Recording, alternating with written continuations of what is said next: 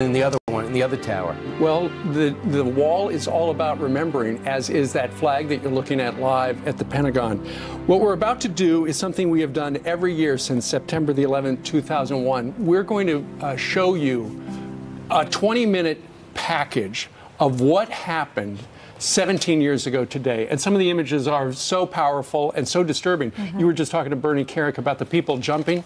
You're going to see that. You're also going to see something we only show once a year, and that is the towers falling. Because keep in mind, back then, 17 years ago, the conventional wisdom was that there were 25,000 mm-hmm. people inside the towers at right. that That's time. right. I was actually in local news at that time. You guys were here at the Fox studio with Edie right. Hill, and y'all were covering it live. Right. We didn't know exactly what was unfolding. We later would find out uh, all too much what happened. This is how it happened.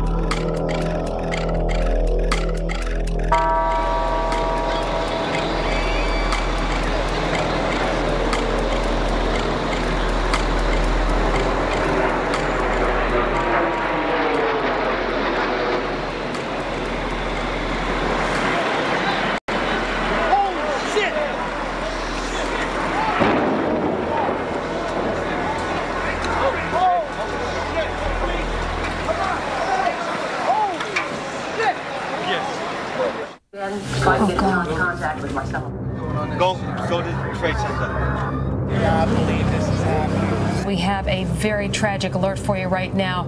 An incredible plane crash into the World Trade Center here at the uh, lower tip of Manhattan. It's believed a 737 has crashed into this speculation at this point, but at least three floors taken out, crashed into the side of the building. Joining us right now, uh, one of the producers with Fox Report, Owen Mugen on the scene. Owen, what do you know? What do you see? Where are you? Yeah, Brian, I'm on the roof of my building, which is about five blocks to the south of the World Trade Center. I'm looking, I'm looking right now at the World Trade Center. There's a massive gaping hole uh, on the second tower. It's about uh, about 15 stories from the roof. Uh, it's it's just unbelievable to look at. I seen that jet go right in can just see it right now. You can see uh, emergency vehicles tearing mm-hmm. south on the West Side Highway, heading towards the scene. Uh, there are tons of people in the streets. There's there are papers, things fluttering out. Uh, I can't see any evidence of what it was that could have crashed. Uh, all I can see is that this massive gaping hole with tons of black smoke falling out, falling out of the building. All we can do is stare aghast at these pictures at this point. You are looking at the uh, north building of the Twin Towers of the World Trade Center in Manhattan. These are coming to you live now. Debris raining down from 110 floors up. As you can see, this is a clear blue sky day in Manhattan. If this was an accident, it would be a needle in a haystack kind of accident.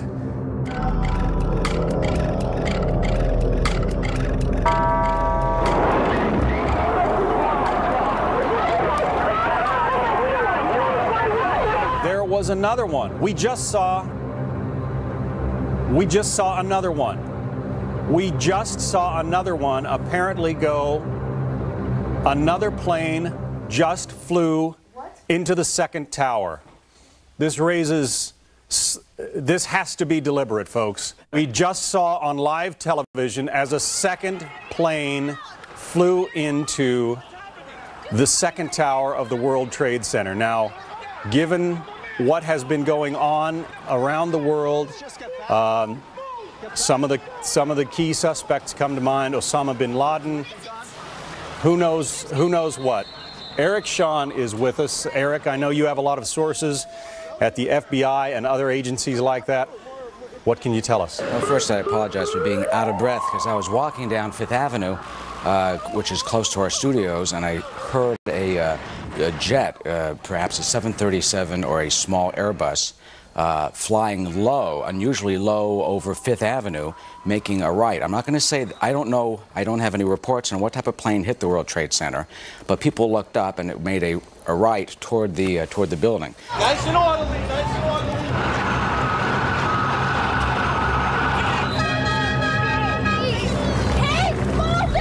It is a tragedy. It is abhorrent. It is disgusting. But you know, I, am you know, wondering: Are these pilots terrorists themselves? Uh, are they uh, are, is, are there terrorists in the cockpit who are holding guns to a pilot's head? Did they? Uh, I, I can't imagine. You can, you can speculate uh, completely about how this happens because obviously it takes uh, a lot of training and expertise to fly a uh, complicated, sophisticated uh, aircraft, whether it's a Boeing 737 or a smaller Airbus. These are not uh, little Cessnas and little Pipers. So uh, there is a, you have have to wonder and raise the what possibility there is with the type of scenario that was going on in the cockpit. Our Wendell Goler is at the White House, uh, rather, make that Sarasota. He is traveling with the president. Wendell Goler, what's the reaction uh, from uh, the president?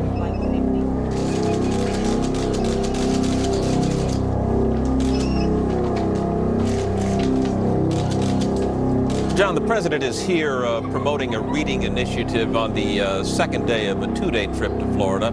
He just finished uh, reading to some children at the Emma Booker Elementary School and was asked uh, about the incident. He said he was aware of it and that he uh, uh, would have something to say about it later.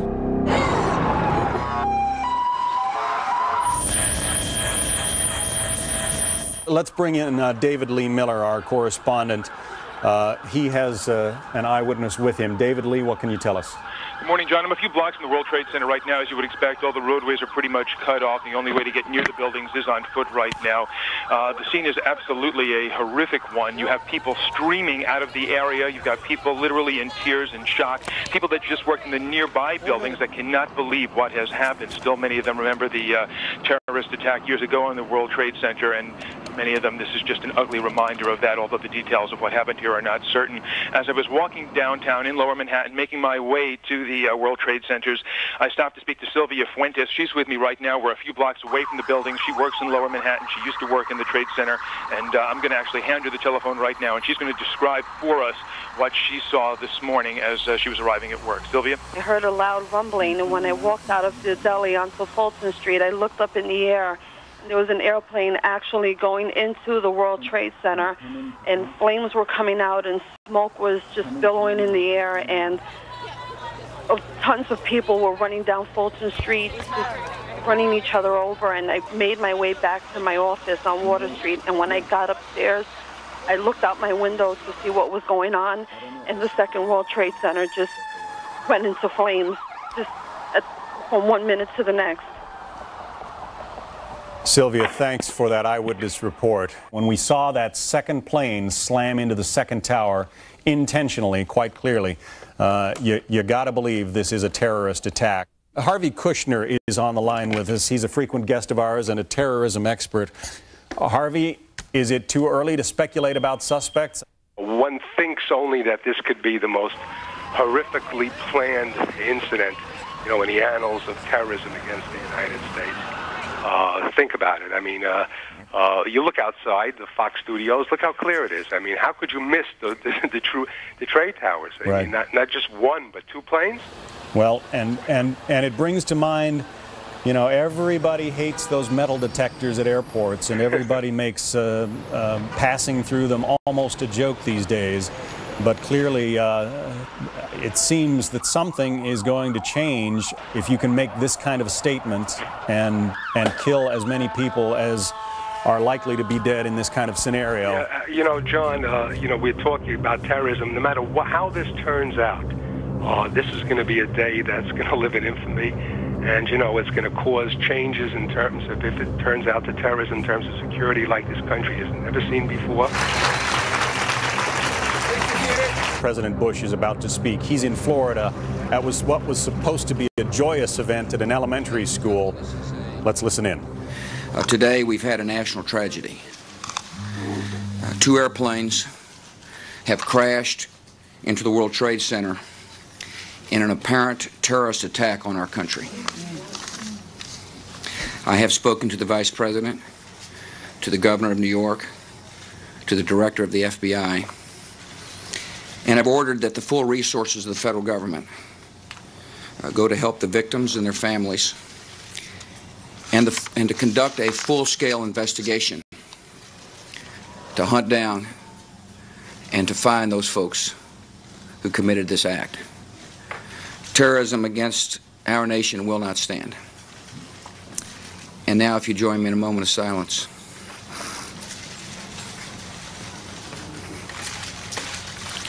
May God bless the victims, their families, and America. Thank you very much.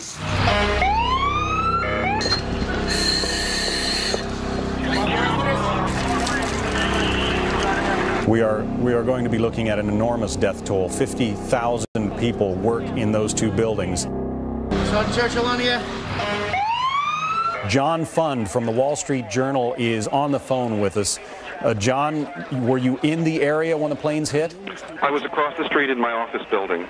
What did you see? What did you hear? I heard it, I heard an incredible sonic boom and uh, looked up, and there were already much smoke and flames pouring out of the building. And about 15 minutes later, of course, the second sonic boom, which of course would have been the second tower and the second plane. What about injuries, John? Well, Can you tell most- us? The most terrible and heartrending thing about this is about 15 minutes ago, bodies started dropping from the top floors of the uh, tower closest to the highway, about at least five or six, and uh, it was it was absolutely terrible. Obviously, they had two choices: to be burned into in flames or to uh, leap and end it all. It was quite tragic. Let me bring into the conversation David Asman, uh, my colleague. Yes, John David, Scott, what can you tell I us? I just want to uh, give you some late breaking information. Perhaps one of the things that is of greatest fear is that there is yet another terrorist attack since those since those two plane crashes happened within 20 minutes of each other. Well, all of Manhattan has been sealed off. This is probably unprecedented. Of course, all of this is unprecedented in this dastardly, dastardly occasion. But Manhattan has been sealed off. Uh, the Hudson River bridges and the tunnels have been sealed. Uh, clearly, there is an attempt right now to thwart any further act of terrorism, act of violence against the people of Manhattan. So Manhattan is in a lockdown.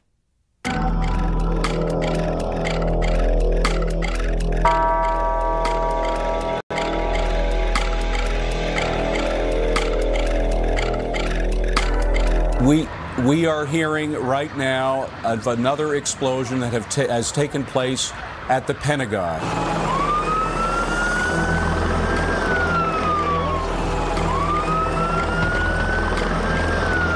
We have the heart of the financial district of America being attacked. Now we understand that there is an explosion, there has been an explosion in the Pentagon, the heart of the military uh, command center of the United States of America, John. It can't get much worse than this, let's hope. You got to believe that uh, it has happened again. Another large airliner, perhaps hijacked, perhaps part of some uh, widespread plan, apparently slamming into at least the area around the Pentagon. They have not struck at America. Uh, they have struck at some individual places in America. Uh, but uh, uh, this country will go on. I want to go to our Washington managing editor, Brit Hume, who has uh, the outlook from the nation's capital. Brit, this raises all kinds of questions about America's response, and I guess that a response is not going to be immediate, is it? Well, whether it is immediate or not, the one thing I think we are seeing, John, is this uh, series of evacuations from various uh, buildings around Washington. And I think it's important to say that we don't know and have no reason to believe that the White House, for example, was uh, facing any immediate or imminent threat. The same is true on Capitol Hill, where it appears they will be evacuating uh, the building up here soon. No, uh, nothing has happened at either of those places. Uh, this, of course, though, John, I think this is one of these days where we can say that things will not again be the same in the United States of America. This is the kind of terrorist attack that is the nightmare that uh, experts and others have warned about, uh, but some of us may have thought really could not happen on such a scale. This is quite remarkable.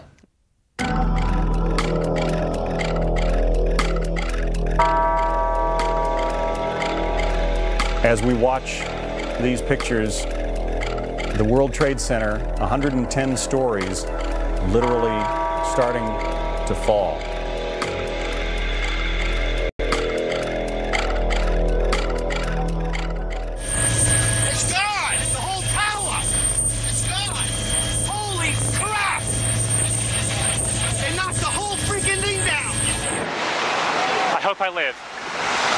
I hope I live. It's coming down on me.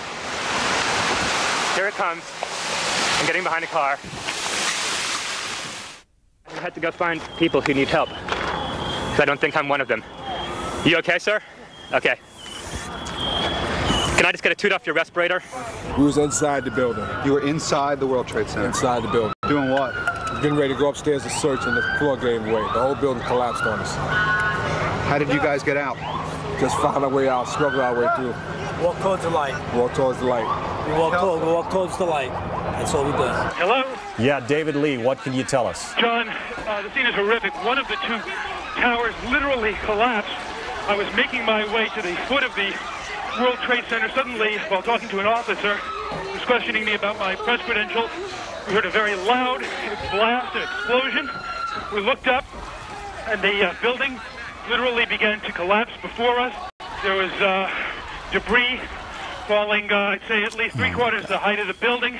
People within uh, the entire perimeter began literally, including myself, which is why I'm out of breath, to run for our lives.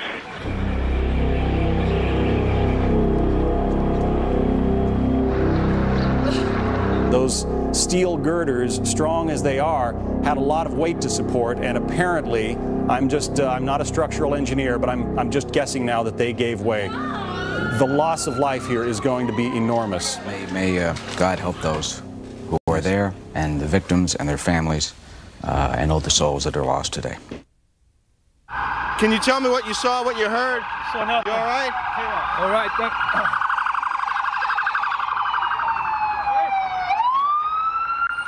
Guy, look at this guy. Unbelievable. Unbelievable. This poor woman. Wow.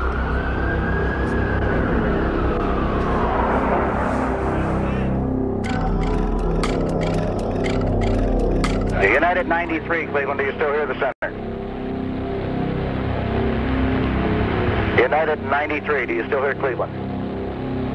United 93, United 93, do you hear Cleveland? 80 miles southwest of Pittsburgh, this uh, United Airlines Flight 93 crashed. Uh, from the size of the impact crater, it would appear as though the angle of descent or angle of attack had to be nearly straight in. I think the pilot downed the plane in a remote area because, you know, there wasn't very many houses over there where it went down. And I don't know, it's, it's really, the whole thing is just unbelievable. This is clearly a national catastrophe. There will be some response from the White House.